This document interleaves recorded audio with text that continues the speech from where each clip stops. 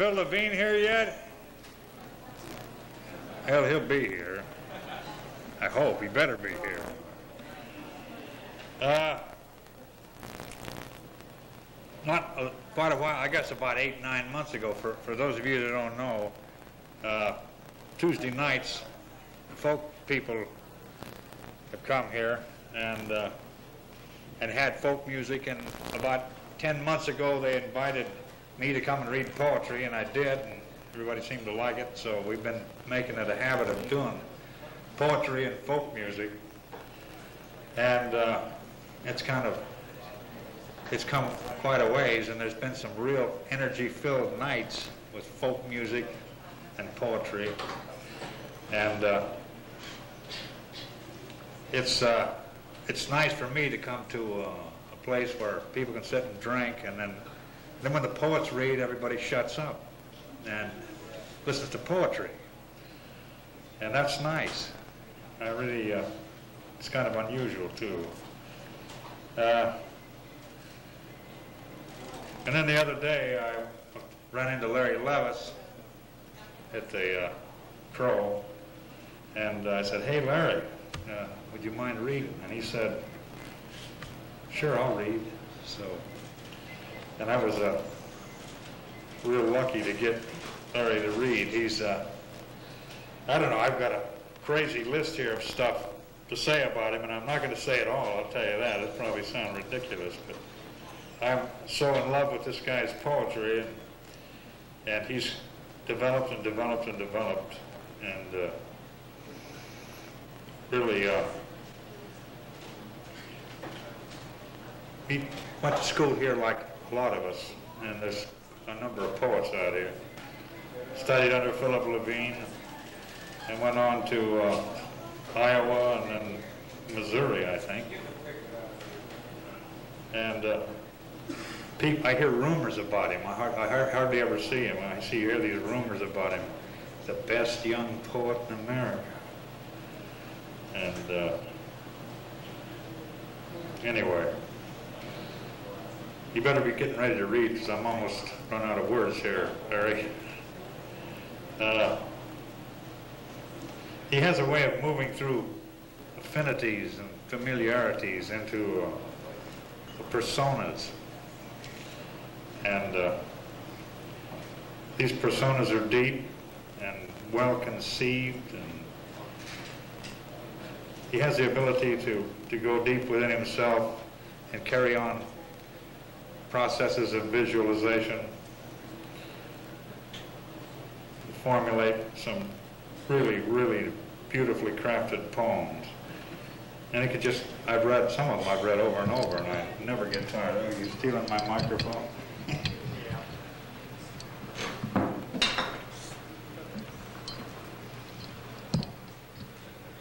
and he seems to have, he doesn't, you're not cheated.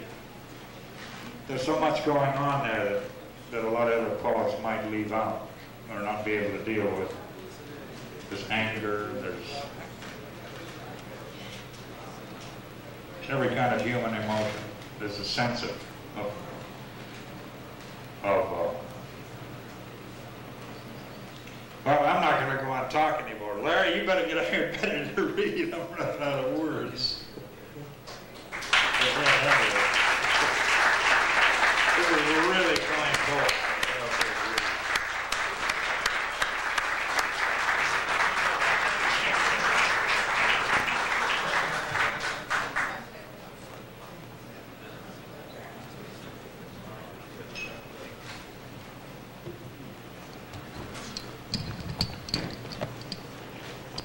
a wonderful introduction. Uh, it, it, was, it took me about 10 minutes to realize, of wondering who he was talking about. Here. Well, let's see, let me just begin with a poem uh, that I wrote here in California. I actually wrote it uh, in Los Angeles, where I lived for a while. Uh, I, I used to teach there California State University, Los Angeles. I taught with a great Polish poet named Zbigniew Herbert, and um, he uh, wanted to stay on there and not go back to Poland, but they wanted him to teach composition. And he, since he didn't speak English very well, it was difficult. Uh, and they thought that he couldn't really teach composition because his English was so bad. But I thought most of most of us who were on the faculty had, I mean, our English was not good enough to teach composition. But anyway, he uh, he had refused to join the Communist Party, and he fought as a teenager in, in the underground against the Nazis in Poland. And uh, I guess he simply wasn't frightened by an English department and left. This is a poem called For Zbigniew Herbert, Summer 1971, Los Angeles. No matter how hard I listen, the wind speaks one syllable, which has no comfort in it, only a rasping of air through the dead elm. Once a poet told me of his friend who was torn apart by two pigs in a field in Poland. The man was a prisoner of the Nazis, and they watched, he said, with interest and a drunken approval. If terror is a state of complete understanding, then there was probably a point at which the man went mad and felt nothing. Although certainly he understood everything that was there. After all, he could see his blood splash beneath him on the stubble. He could hear singing float toward him from the barracks. And though I don't know much about madness, I know it lives in the thin body like a harp behind the rib cage. It makes it painful to move. And when you kneel in madness, your knees are glass. And so you must stand up again with great care. Perhaps this wind was all he heard in 1941. Perhaps I have raised a dead man into this air. And now I must bury him inside my body and breathe him in and do nothing but listen until I hear the black blood rushing over the stone of my skull and believe it is music. But some things are not possible on the earth. And that is why people make poems about the dead.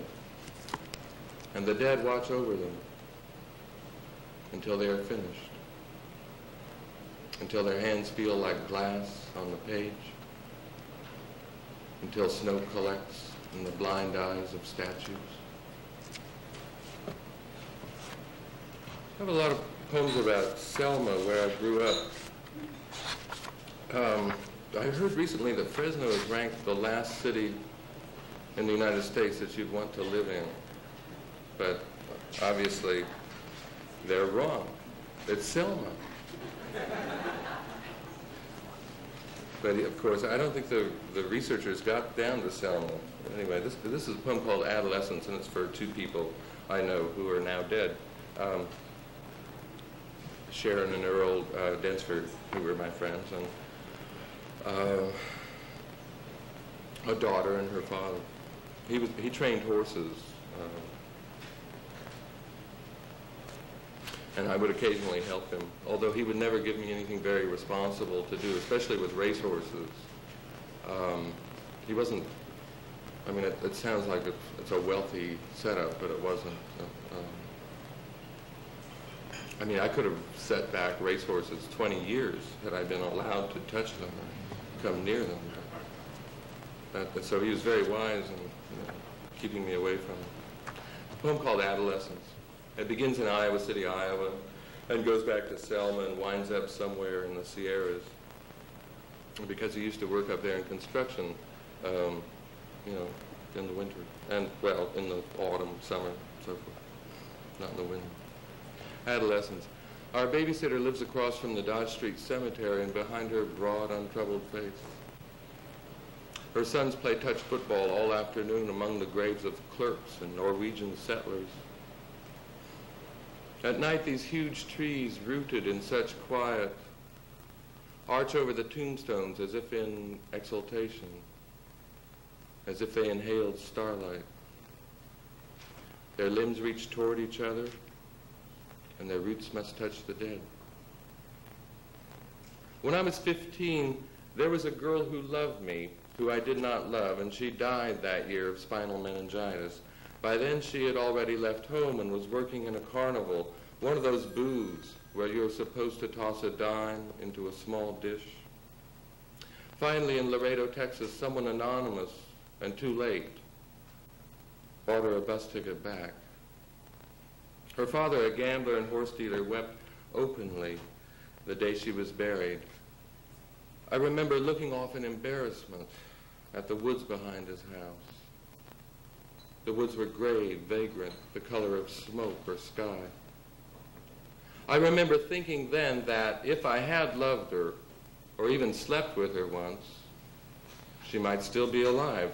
And if instead we had gone away together on two bay horses that farted when they began to gallop, and if later we had let them graze at their leisure on the small tufts of spring grass in those woods, and if the disintegrating print of the ferns was a lullaby there against the dry stones and the trunks of fallen trees, then maybe nothing would have happened. There are times hiking with my wife past abandoned orchards of freckled apples and patches of sunlight in New Hampshire, or holding her closely against me at night until she sleeps when nothing else matters, when the trees shine without meaning more than they are in moonlight, and when it seems possible to disappear wholly into someone else, as if into a wish on a birthday, the candles trembling. Maybe nothing would have happened. But I heard that her father died a year later in a Sierra lumber camp. He'd been drinking steadily all week and was, and was dealing cards when the muscle of his own heart kicked him back into his chair so hard its wood snapped. He must have thought there was something suddenly very young inside his body, if he had time to think. And of death as an adolescent, closing his eyes to the music on the radio of that passing car. I think he does not know his own strength. If I stand here long enough in this stillness, I can feel his silence involved somehow, the silence of these trees, the sky, the little squawking toy my son lost when it slipped into the river today. Today I'm 34 years old. I know that horse dealer with a limp loved his plain and crazy daughter. I know also that it did no good. Soon the snows will come again and cover that place where he sat at a wobbling card table underneath a ponderosa pine and cover even the three cards he dropped there, three silent diamonds, and cover everything in the Sierras and make my meaning plain. There was a way in which uh, being on a farm was strange. I mean, farms and their growing up on them. Childhood is strange, probably. And um,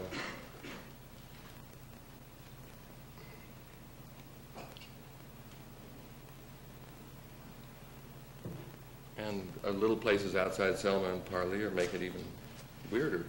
Uh, this is a poem called Family Romance. Uh, family Romance, you know, referring to that Freudian business, but the poem misunderstands it because you say I'm not very smart so beautifully that you don't need even to know about Freud.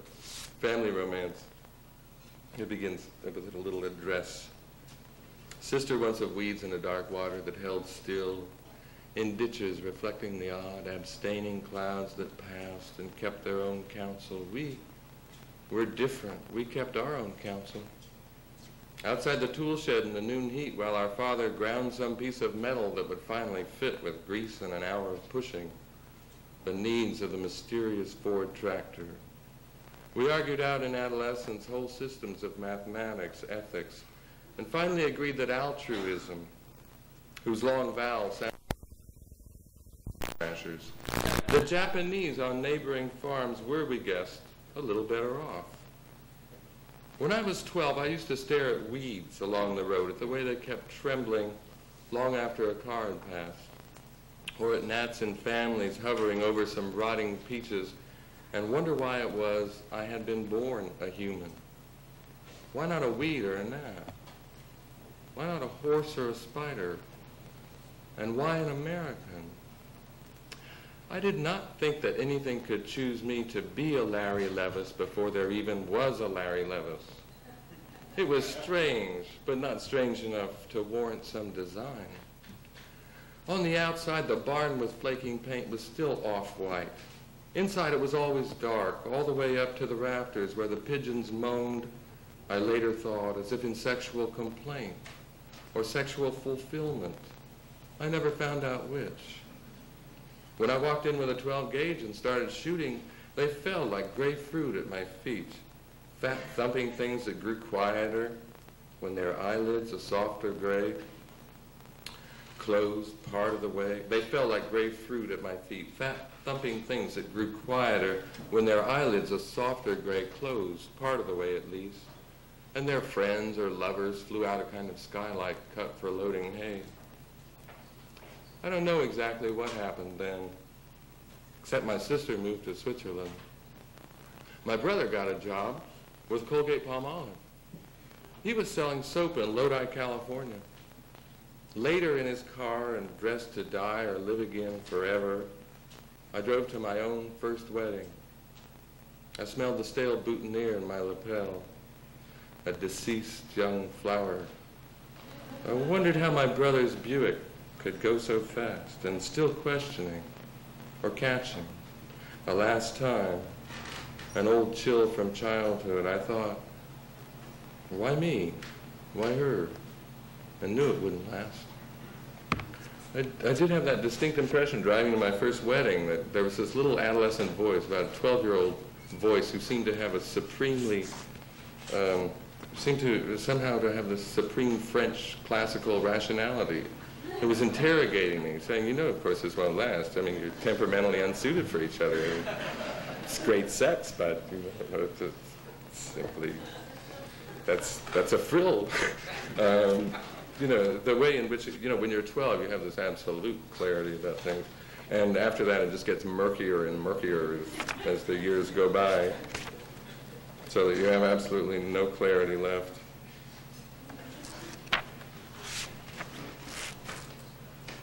This too is a little poem about farming. It's called Some Grass Along a Ditch Bank. I don't know what happens to grass, but it doesn't die exactly. It turns white in winter, but stays there a few yards from the ditch, then comes back in March, turning a green that has nothing to do with us. Mostly it's just yellow or tan. It blends in, swayed by the wind maybe, but not by any emotion or partisan strife. You can misread it at times. I've seen it almost appear to fight long and well for its right to be and be grass when I tried pulling it out. I thought I could almost sense it digging in, not with reproach exactly, but with a kind of rare tact that I miss sometimes in others. And besides, if you really wanted it out, you'd have to disc it under, standing on a shuddering case tractor and staring into the distance like someone with a vision in the wrong place for visions. With time, you'd feel silly, and always it comes back at the end of some winter when the sky has neither sun nor snow, nor anything personal. You'd be wary of any impulse that seemed mostly cosmetic. It's all a matter of taste and how taste changes. Besides, in March the fields are wet, the trucks and machinery won't start, and the blades of a disc won't turn, usually because of the rust. It's when you notice the grass coming back in some other spot, and with a different shape this time, as if it had an idea of a peninsula, maybe, or its form, reclining on some map you almost begin to remember. In March, my father spent hours just piecing together some puzzle that might start up a tractor or set the tines of a cultivator or spring tooth right and do it without spending money. Those rows of gray earth that look cold between each row of vines and run off to the horizon as you drive past. You could almost say it was almost pretty. But this place isn't France. For years they've made only raisins and a cheap sweet wine.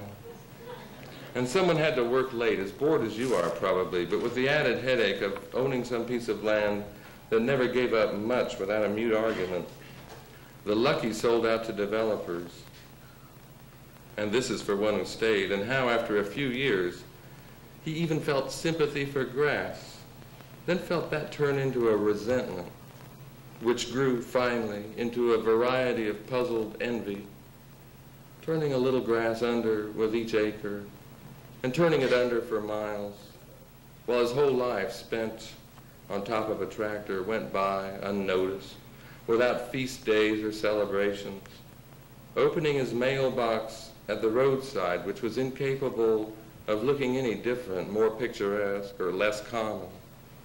The rank but still blossoming weeds, stirring a little maybe as you drove past, but then growing still again.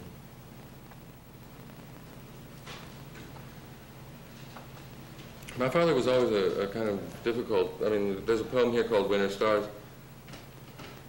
Well, he wasn't a difficult man. He, was, he just was uh, remote in many ways, and there was a certain coldness about him. I don't know why. Um, um, I, I, don't think he could do anything about it. He, he didn't intentionally seem, he wasn't intentionally that way. Um, but one thing that he liked to do, he'd be out bossing a large crew of men and he'd come in um, for lunch and then he'd, he'd close off the living room, the curtains, and, and close out all light and just lay there in the darkness listening to music, classical music usually, or opera. And when I would come in, he'd tell me, you know, to leave. It was my time to be alone. Kid, get out of here. You know. I said, what's that weird stuff you're listening to? You, you can't even understand the language. He'd say, go, go. Then he'd go back out, you know, work on his farm. My father once broke a man's hand over the exhaust pipe of a John Deere tractor. The man, Ruben Vasquez, wanted to kill his own father with a sharpened fruit knife, and he held the curved tip of it lightly between his first two fingers so it could slash horizontally and with surprising grace across the throat. It was like a glinting beak in a hand. And for a moment the light held still on those vines.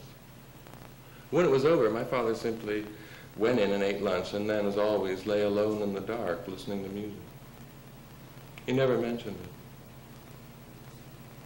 I never understood how anyone could risk his life and then listen to Vivaldi.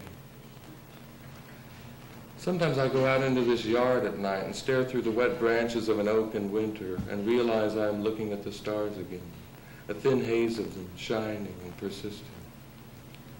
It used to make me feel lighter looking up at them. In California, that light was closer. In a California no one will ever see again, my father is beginning to die.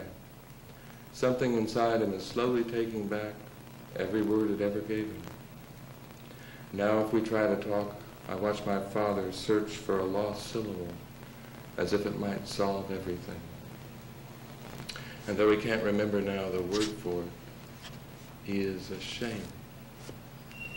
If you can think of the mind as a place continually visited, a whole city placed behind the eyes and shining, I can imagine now its end, as when the lights go off one by one in a hotel at night, until at last all of the travelers will be asleep, or until even the thin glow from the lobby is a kind of sleep.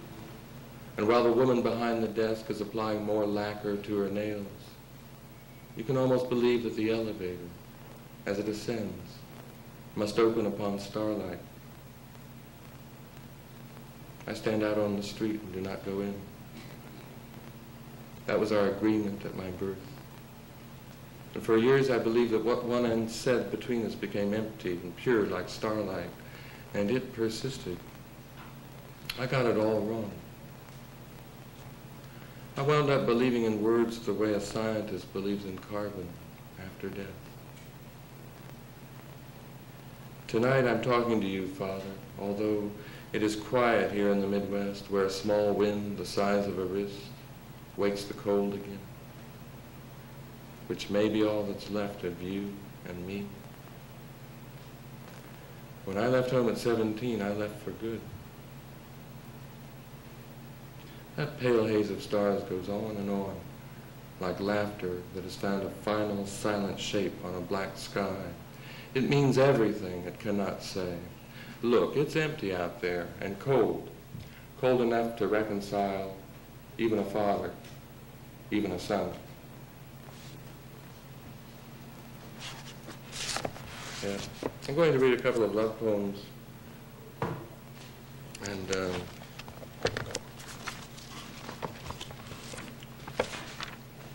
Philip Levine should be here to read it. This is a poem called There Are Two Worlds.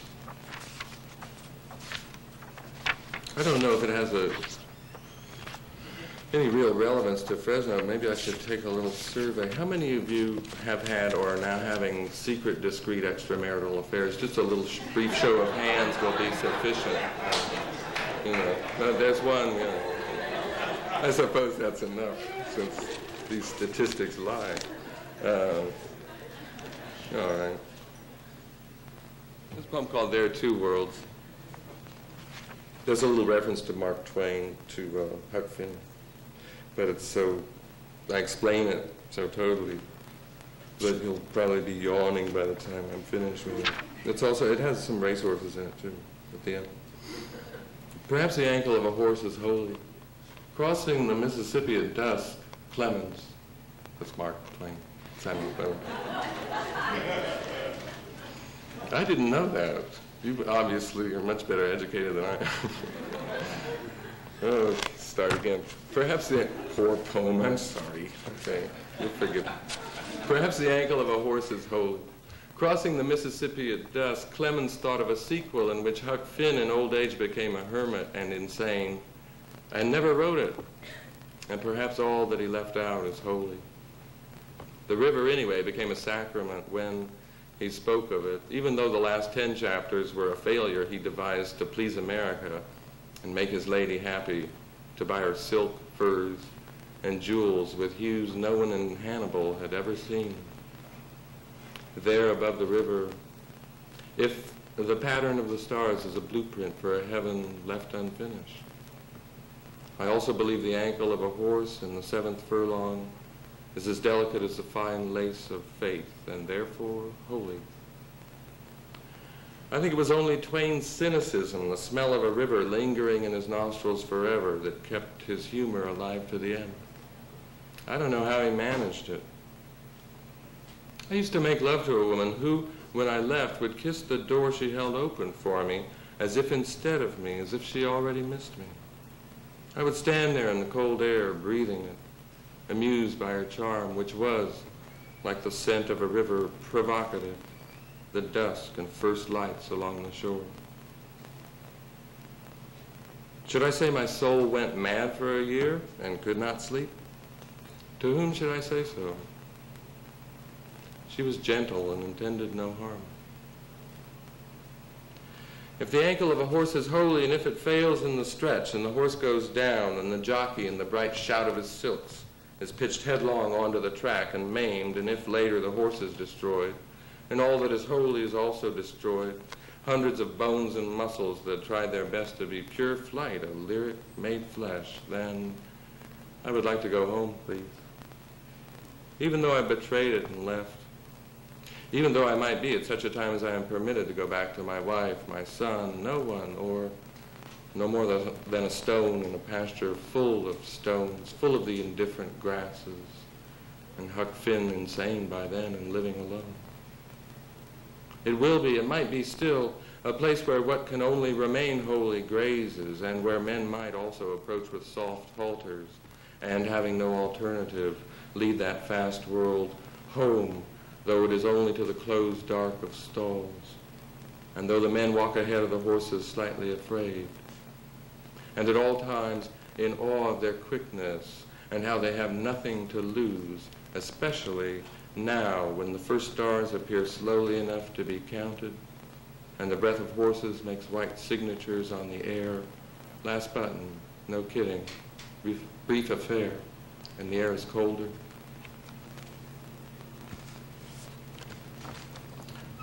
That's a little poem I wrote about a photograph called Sensationalism. I'd like to read that and, and one more, and then we can have music. Phil can read. Is Phil here yet? Good. So I'm getting tired, Phil. You need some help. And uh, if, you, if something doesn't happen soon, I'll have to read my bad poems. You wouldn't like that. Yeah.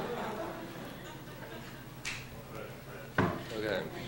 Sensationalism. It's about a photograph by Josef Koudelka, a brilliant young Czech photographer, who, uh, there's nothing much going on in the photograph except a man is in an alley talking to a horse. Sensationalism.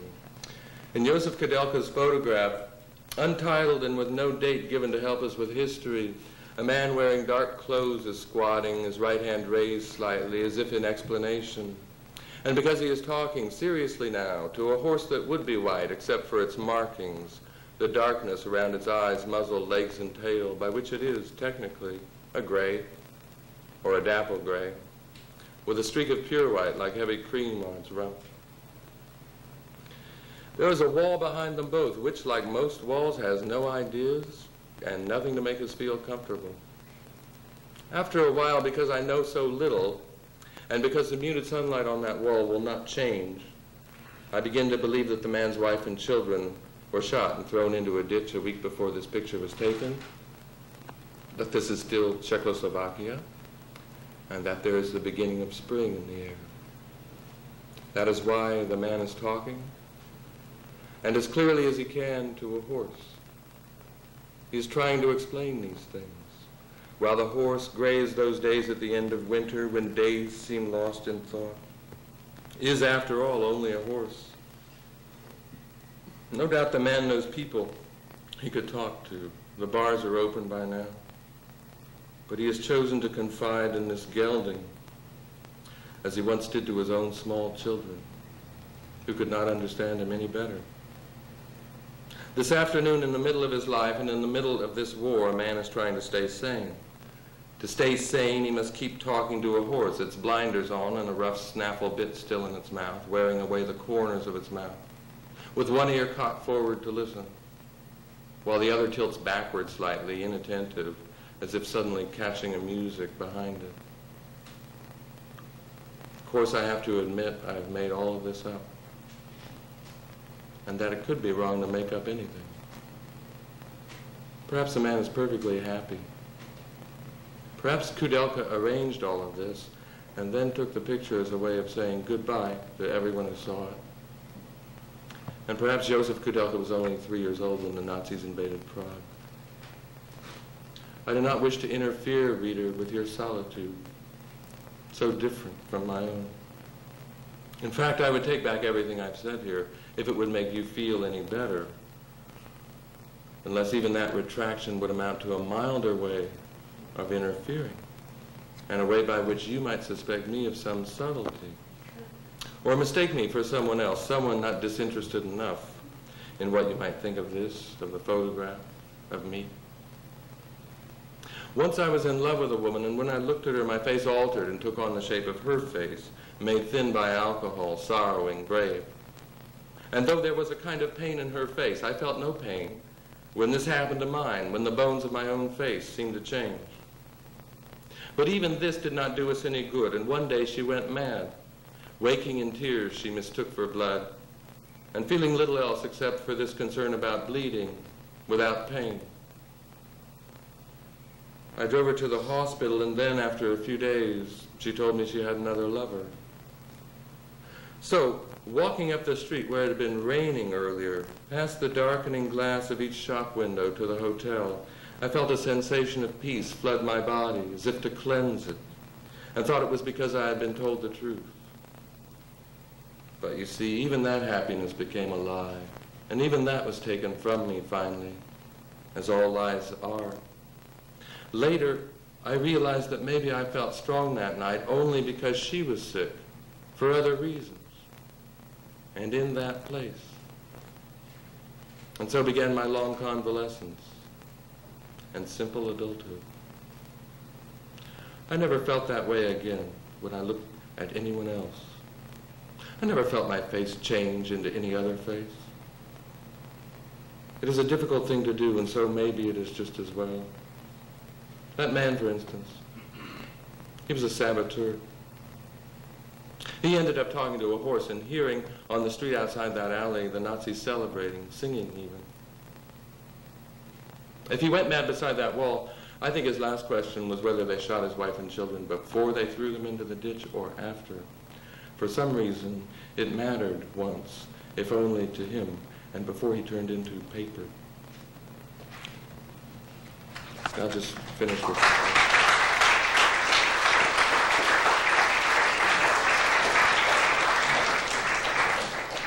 I'll just finish with one sort of comic, silly poem called The Poem You Asked For, which I wrote on a bus in Fresno once when we were trying to save the world and we were blocking off streets.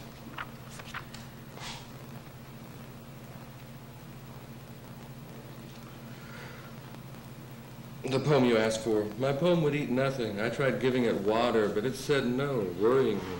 Day after day I held it up to the light, turning it over, but it only pressed its lips more tightly together. It grew sullen like a toad through with being teased. I offered it all my money, my clothes, my car with a full tank, but the poem stared at the floor. Finally, I cupped it in my hands and carried it gently out into the soft air, into the evening traffic, wondering how to end things between us. For now it had begun breathing, putting on more and more hard rings of flesh. And the poem demanded the food. It drank up all the water, beat me, and took my money, tore the faded clothes off my back, said shit, and walked slowly away, slicking its hair down, said it was going over to your place. Thank you. Good night. Good night.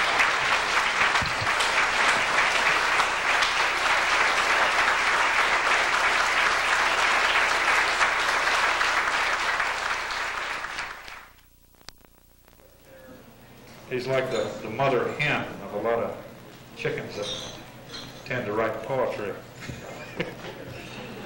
That's a cruel metaphor, I guess. Uh, but uh, he's hatched a lot of us uh, and got us going. And uh, I know I have a vision in my mind that I don't ever want to perish in the dungeon of society's idealized fantasies and organized wrongdoing.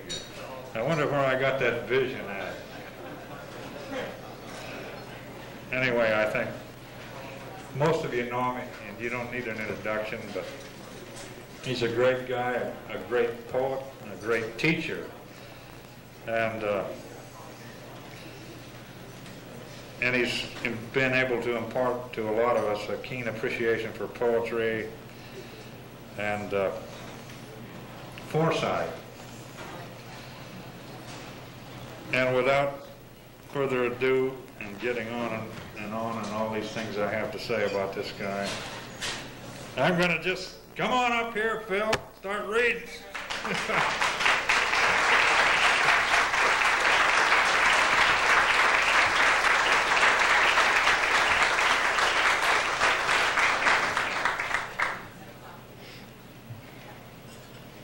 Yeah, I'll take uh, Larry's survey. How many of you wear reading glasses? Uh, uh, how many of you have uh, hemorrhoid? Uh,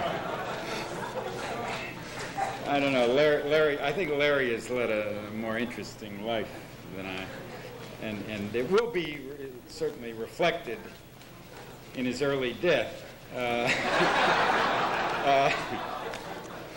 but he won't care will care. We'll say, geez, if only he'd taken care of himself, the way Moulton did.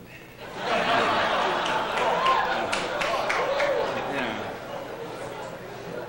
Fantastic poems we would have had.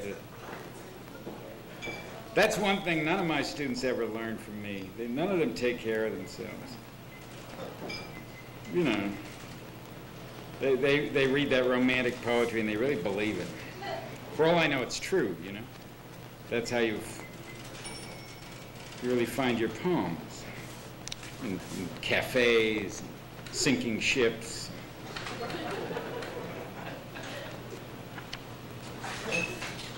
Cemeteries. Oh, uh, someone asked me to read this poem. My son, he asked me to read this poem. It's about his uncle and me. Uh, my brother and I. I about, uh, my brother and me. Be grammatical. uh, it's called "You Can Have It." Oh, by the way, this is my new, my selected poems. It's an incredibly handsome poem. Yeah.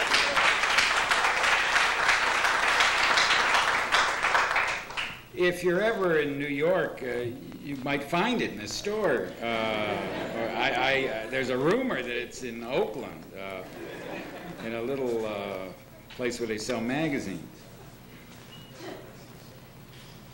At any rate, it, it, came out this spring, and I was very heartened by it. It's kind of thick. Uh, my poems are taking my shape as time passes. They're sort of thickening. Anyway, in this poem, uh, my brother and I are the same age. And uh, that's because uh, we're always the same age. We're twins. I'm an identical twin. But my brother is nothing like me. And he doesn't even look like me. He's really not very good looking at all. Uh, he's also lardy. he loves pork chops. City chicken. He loves city chicken. Have you ever eaten city chicken? It's um, veal or pork that comes on a stick. You know, it resembles a drumstick, but it's not chicken. We used to eat it in Detroit. At any rate, the poem is really not about being a twin. It's about brotherhood, which I think doesn't, or sisterhood, doesn't really depend on having brothers or sisters. Depends on being human. Well, even dogs have brothers. Well, if dogs can have brothers, then cats can have brothers. Why can't Republicans have brothers? if I'd ever taken a course of logic, I could answer that. But they, they don't have brothers, they don't have sisters. They have killed that sense of brotherhood and sisterhood, and they will win the election. That's their reward, you see, for being shits. and, and, and our, our reward is, is to watch it. That's uh, some reward. Okay. Remember, it will happen in November. You first heard it here. You can have it. My brother comes home from work and climbs the stairs to our room. I can hear the bed groan and his shoes drop one by one. You can have it, he says. The moonlight streams in the window, and his unshaven face is whitened like the face of the moon. He will sleep long after noon and waken to find me gone. Thirty years will pass before I remember that moment when suddenly I knew each man has one brother who dies when he sleeps and sleeps when he rises to face this life, and that together they are only one man sharing a heart that always labors, hands yellowed and cracked, a mouth that gasps for breath and asks, Am I going to make it? All night at the ice plant, he had fed the chute its silvery blocks. And then I stacked cases of orange soda for the children of Kentucky. One gray box car at a time, with always two more waiting. We were 20 for such a short time, and always in the wrong clothes, crusted with dirt and sweat. I think now we were never 20. In 1948, in the city of Detroit, founded by De La Mothe Cadillac for the distant purposes of Henry Ford, no one wakened or died. No one walked the streets or stoked a furnace, for there was no such year. And now that year has fallen off all the old newspapers calendars, doctor's appointments, bonds, wedding certificates, driver's licenses. the city slept. The snow turned to ice, the ice to standing pools or rivers racing in the gutters.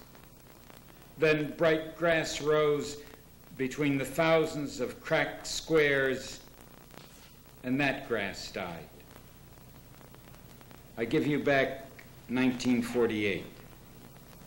I give you all the years from then to the coming one. Give me back the moon with its frail light falling across a face. Give me back my young brother, hard and furious, with wide shoulders and a curse for God, and burning eyes that look upon all creation and say, You can have it.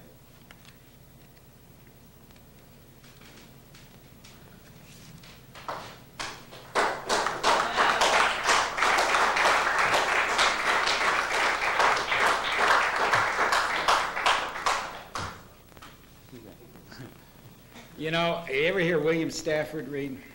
William Stafford has an uncanny ability. He, in his poems, at the end of his poems, he builds into the end of his poem your applause. I mean, it's stunning. He kind of, as he gets those last lines, he kind of falls back, you know, with the beauty and the, and the tragedy of it all. Then he looks at you with this, and you, you feel, I have to revive this man. And so you applaud. And then he gets very arrogant. Immediately, all, he's superior to you. You know, just, please don't. You know. it's crude. Uh, then he reads another poem, the same thing happens, and you applaud. It's amazing. And he's so boring. He's no more boring than his poems. I mean, I, I didn't mean to suggest. Actually, his poems are more interesting than he is. Our poems are always more interesting than we are, except for except for Larry. Larry is, is exactly as interesting as his poems, but you see what's going on there. My God.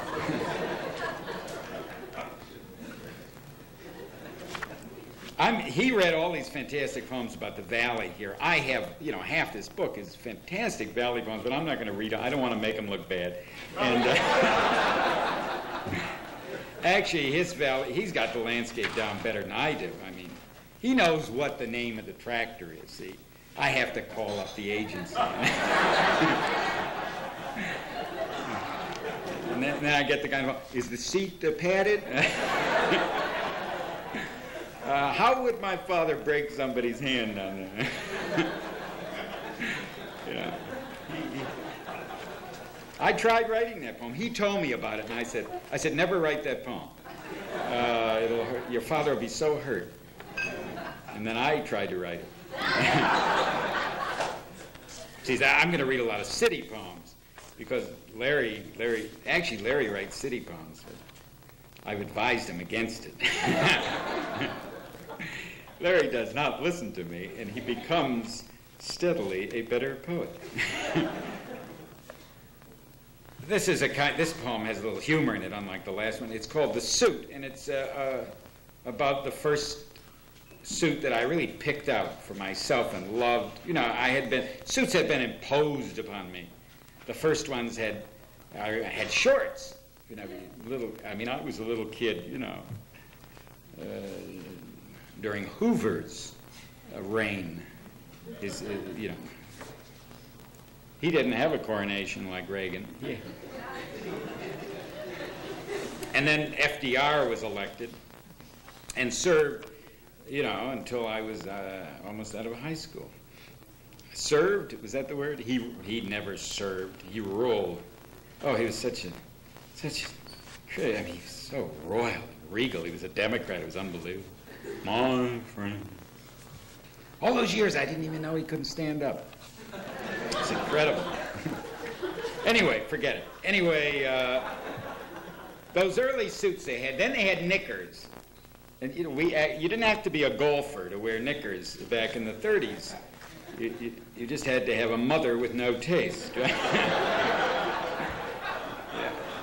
Well, my parents were both immigrants. They had no idea how important it seemed for me to appear to be an American. You know? I mean, I wanted to be an American. Yeah. Wait, I have a poem here that's kind of about that. God, I invent this other guy, but this the horrible thing that's in this poem happened to me. I wouldn't admit it in this poem. It's called On the Birth of Good and Evil During the Long Winter of 28, 1928, the year I was born. It takes place in Detroit.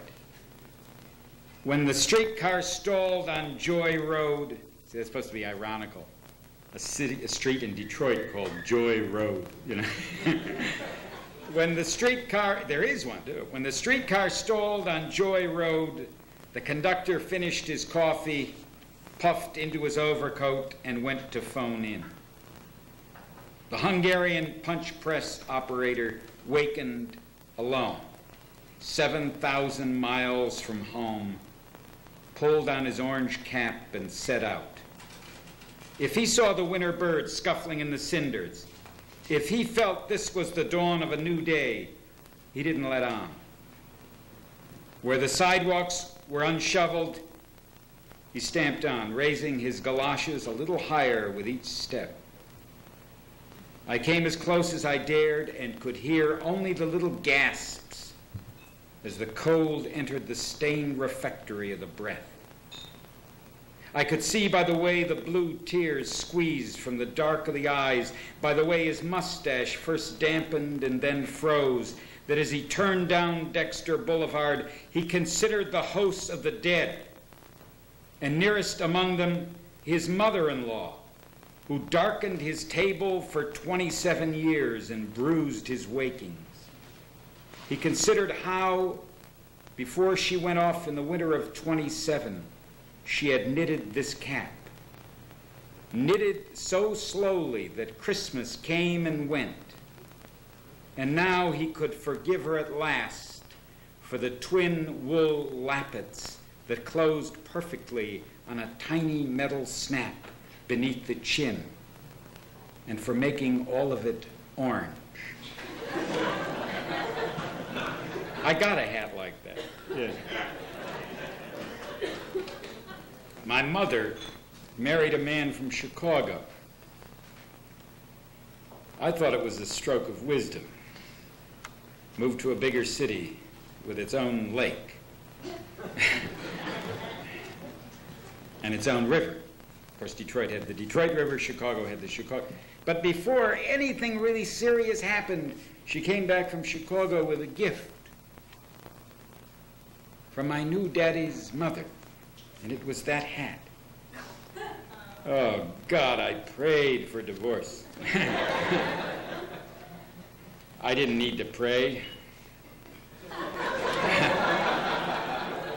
the man wasn't an idiot. and before you know it, Mother was hunting again. I understand he's very happy that he too has forgiven his mother. All right, this is called the suit. This is about buying, you know, you, the first suit you really love. And it dates back to the 40s. So the suit is sort of outrageous. No more outrageous than the crap you people wear, but tasty like that. The suit. Dark brown pinstripe, the trousers rising almost to my armpits and descending pleated to great bellows at the knees, only to close down just above my shoes. This was my fine suit, made of God knows what hard fiber that would not give or crease. And such shoulders, as no one my height and under 150 pounds has ever had. And the great wide swooning lapel of the double breasted job buttoning just below the crotch so robed, I was officially dubbed a punk or wild motherfucker, depending on the streets I glided down. Three times I wore it formally. First, with red suspenders to a high school dance where no one danced, except the chaperones, in a style that minimized the fear of gonorrhea.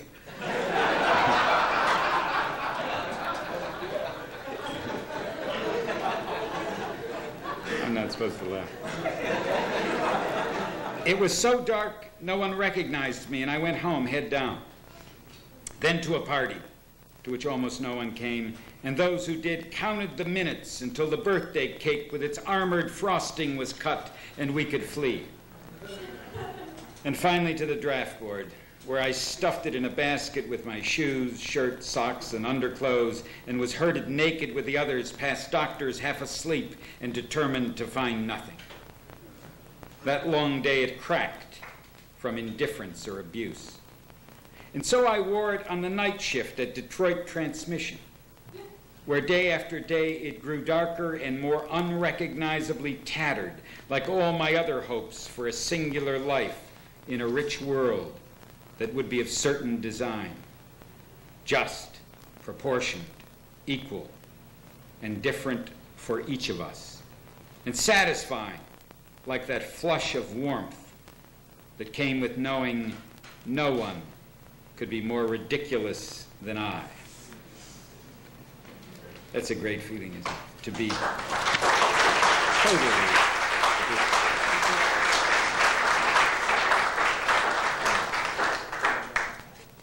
I'm reading mainly from my most recent book, which I like a lot, One for the Rose. It was sort of ignored.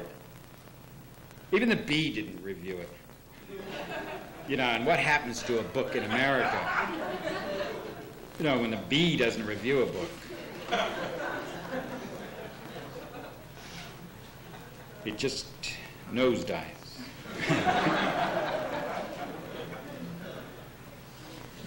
Some years ago, I went to Birmingham, Alabama to give a poetry reading. I had a wonderful time, actually. I like Birmingham. It's a lot like Fresno, but it was damper. Yes, that was the main difference. it was near the East Coast, too. But no one ever went there. It was kind of like our relationship to the West Coast. You know, you move here and say, oh, you're so near the ocean. You know, 14, 15 years later, you finally recover from heat stroke. get in the car and get a blowout. Go back and watch the Olympics again on a rerun. Anyway, before I went, I got a letter from a student. I was going to visit a class. It was a wonderful letter. It was na- wonderfully naive. The students there are much like the students here and the students I went to school with at Wayne University in Detroit. They still believe that somebody like a poet would know something, and that their teachers would know something, that, that a college education is worth having. They may be right. I mean, don't ask me, ask them. At any rate, I got a letter from this one student, and it just had one serious question What is a man? well, I wrote this poem. I started thinking about it, and so I wrote the poem. And the poem is an attempt to answer the question. It's called Having Been Asked, What is a Man? I Answer, and it says, the little epigraph says, after Keats. I don't mean that I wrote it, you know, after Keats died or after Keats wrote it. I mean that I steal some things from Keats. I don't steal them, I take them, and it's obvious because I mention. Uh, I take uh, some, some of his ideas and some of his lines. Uh, those of you who know his letters would, would know them right away. Actually, they're there. They're there. This is. Says I will read Keats again, which I will. I'm in a hospital in my old. If I were sick, I would go to a hospital. I, none of these poems are autobiographical. I have no brothers. I have no mother. I never got the little hat. Uh, I've never written about myself. I mainly write about Larry Levis. and, and, his, uh, and I hope to get to his, his love life, but he won't tell me anything. but I'll get it out of him. I have a whole epic about that hand being broken. Uh, having been asked what is a man, I answer. So I'm, this guy in the poem is in the hospital. I use the first person because we all know it's more intimate. I mean, the phone, you know, you don't say, he would like to make love to you. That's not very intimate. You say, I would like to make love to you. And she says, I'd rather have him. Because she thinks that the third person is more intimate. Well, it's not. the first person is more intimate. That's why I use it. It's more convincing. You get into things, hey, this is right out of his life, but it's not. I've never been sick. I've never been in a hospital. I was born on a bus. actually a streetcar next to a Hungarian punch press operator who was wearing this crazy hat. anyway, the poem. All right. My oldest son takes place in New York, a city I've never been. I've never visited the place, but it's there. I, I see it in movies. You can't miss it. It's got this tall. What's it called? World Trade Center. Uh, my oldest son comes to visit me in the hospital. He brings giant peonies, and the nurse puts them in a glass vase, and they sag quietly on the windowsill where they seem afraid to gaze out at the city smoking beneath. He asks when I will be coming home. I don't know. He sees there are wires running from me to a television set on which my heartbeat is the Sunday spectacular. How do I look? I say. He studies the screen and says, I don't know. It takes a specialist to tell you how you look in this place, and none will. I must have slept. And when I waken, I am alone, and the old man next to me is gone, and the room is going dark. This is the Sunday that will fill the unspoken promise of all those vanished Sundays when a shadow on the edge of sight grew near, enormous, hesitated, and left. And I sighed with weariness, knowing one more week was here to live. At last, a time and place to die are given me, and even a small reason. The flowers have turned now that the windows have gone dark, and I see their pale faces in the soft mirror of the glass. No, they aren't crying, for this is not the vale of tears. They are quietly laughing, as flowers always do in the company of men because this is the place where souls are made, their laughter whispers. I will read Keats again. I will rise and go into the world unwired and free because I am no longer a movie. I have no beginning, no middle, no end, no film score underscoring each act, no costume department, no expert on color. I am merely a man dressing in the dark because that is what a man is so many mouthfuls of laughter, and so many more. All there can be behind the sad brown backs of peonies. oh, thank you. Um, my favorite flower, actually, the peony. But they're so expensive. You go to the florist, he says, What do you earn? I'm a teacher. Buy daisies. Buy daisies. She isn't going to like you anyway. That's true, someone said that. The fox. If I were worried about my health, I would jog. And if I lived in New York and jogged I would have the trouble that this man has. Indeed, I had the same trouble this man had.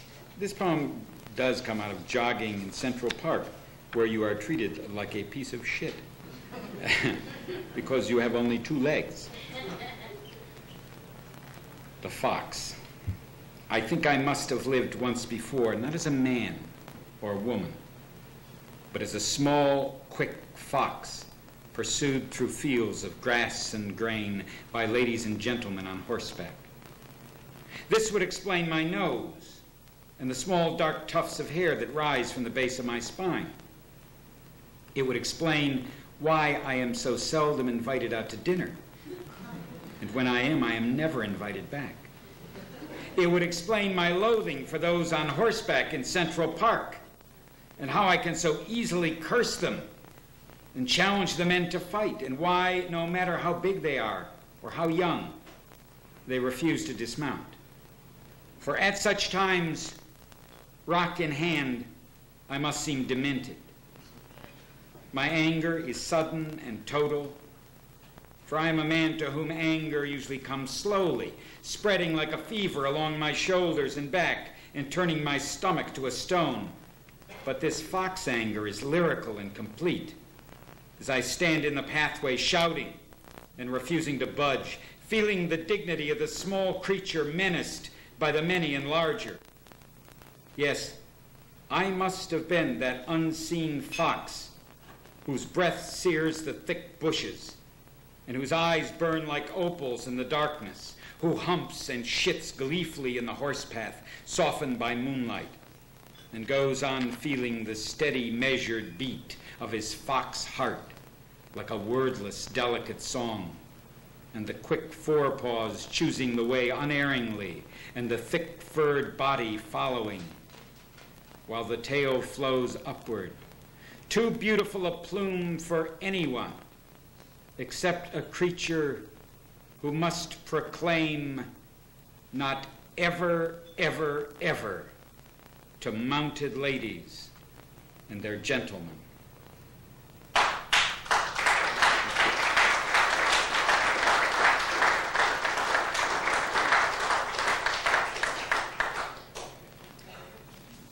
My wonderful student, former student, and now terrific poet, liberated from the terrors of Fresno State and its monumental boredom, Roberta Spear, asked me to read to Cipriano in the Wind. It's a political poem. That is to say, there is affection in it for someone, which is a political act today. And this someone doesn't even have money. Shit, he doesn't even have the vote. He is a foreigner, and he is such a beaten man in one way, but unbeatable in another. He is a survivor, this man, this Cipriano of the Spanish Civil War. He is talking to a kid. It is 1941. The kid knows things about that war. The kid's brother has gone off to another war, World War II. And this guy speaks bad English, right?